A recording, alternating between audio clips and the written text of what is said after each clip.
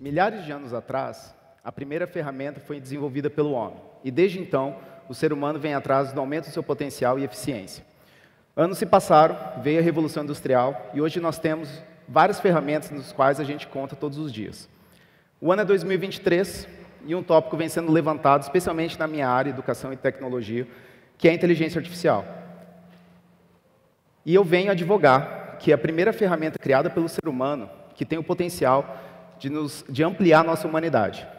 Sim, nos fazer mais humanos. E eu espero mostrar minha visão otimista até o final dessa fala. Mas o que é a inteligência artificial?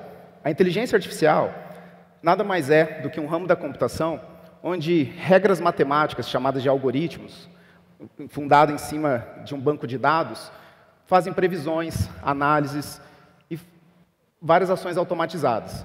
Pois bem, e não é novidade, já existe o quê? Pelo menos há 50 anos já vem sendo desenvolvida. Só que a questão é que agora a gente está num estágio muito poderoso da inteligência artificial, muito delicado, muito sensível. Nós estamos falando de inteligência artificial generativa e grandes modelos de linguagem, que são muito mais poderosos, e eu tenho certeza que várias pessoas aqui já testaram diversas ferramentas que saíram no mercado nos últimos 18 meses.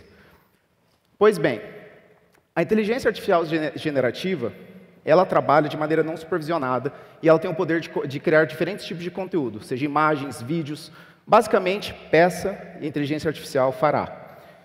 Estamos nesse, nesse momento agora. E como designer de produto e empreendedor na educação, eu posso dizer que o mercado está bombando de fato, em todas as áreas: saúde, marketing, é, educação, finanças, cibersegurança, compressão, agronomia, não existe uma área em que empresas já estabelecidas não estão já amplamente usando e desenvolvendo novas soluções em cima dessa tecnologia. E várias outras startups também estão desenvolvendo novos modelos de negócio. E eu tenho certeza que muitos aqui já testaram ChatGPT, Stable Diffusion, Midjourney, entre várias outras ferramentas que você encontra no mercado agora. Tá ok. E o que, que isso tem a ver com nos fazer mais humanos?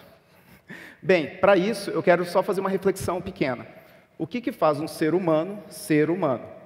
São várias as respostas, todas filosóficas e várias românticas, mas eu acredito que são três pilares: consciência, emoções e criatividade. Já fazendo uma ponte para a empatia também. E reside aí o nosso poder. O poder do ser humano é justamente ser humano. E essa é a grande vantagem para os próximos anos que nós teremos, desde que a gente saiba cultivar esse nosso lado. E isso daí se estenderá para a educação e, para falar a verdade, em todas as áreas. Tá ok. Mas eu não sou ingênuo. Eu não sou ingênuo de pensar que não teremos vários desafios ao implementar essa tecnologia. Essa tecnologia simplesmente é muito poderosa e transformadora, e todo mundo aqui sabe que uma tecnologia ela pode ser usada tanto para o bem quanto para o mal. Então, para isso, adivinha, a gente vai precisar da ação de todos, todos os usuários, os desenvolvedores, pesquisadores e, principalmente, eu diria, legisladores. A gente precisa de leis atualizadas, leis atualizadas para que mitiguem o mal que essas tecnologias podem trazer e aquelas pessoas que fizerem uso errôneo delas. Ademais, temos que reconhecer que as pessoas já estão perdendo emprego por conta dessa tecnologia em si. E o número não é pequeno. Ao passo de que, claro, vários outros empregos estão sendo criados. Uma tecnologia nova sai no mercado, abre portas de todos os lados. Mas neste caso específico, muitas pessoas de fato estão perdendo emprego, e outras estão correndo para se antecipar para não ficarem desatualizadas. E essa daí já fica uma dica. Corra atrás, experimente todas as ferramentas que estão saindo, implemente no seu trabalho, veja como a sua produtividade aumenta usando elas. Vocês não vão se arrepender. E você vai estar continuando sendo relevante no seu mercado, no seu nicho, seja lá qual for. Pois bem, ah, eu comecei essa minha fala dizendo que o ser humano eh, criou a primeira ferramenta milhares de anos atrás. E que são três os pilares que compõem o que faz um ser humano um ser humano: consciência, emoções, criatividade.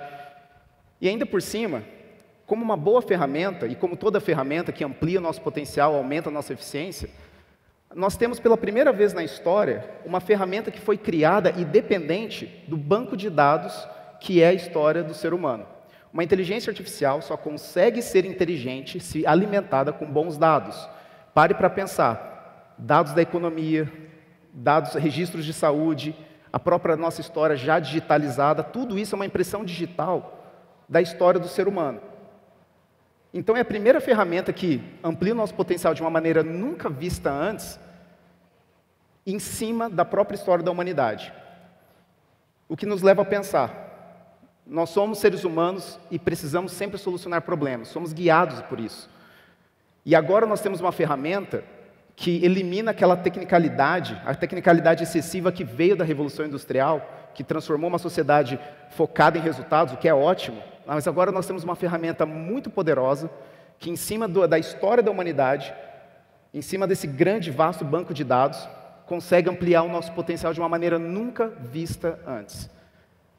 E isso nos permitirá, a gente dando espaço e cultivando a consciência, as nossas emoções, a nossa criatividade, e a nossa empatia a criar um mundo mais justo, um mundo mais seguro, nos permitindo ser mais e mais humanos.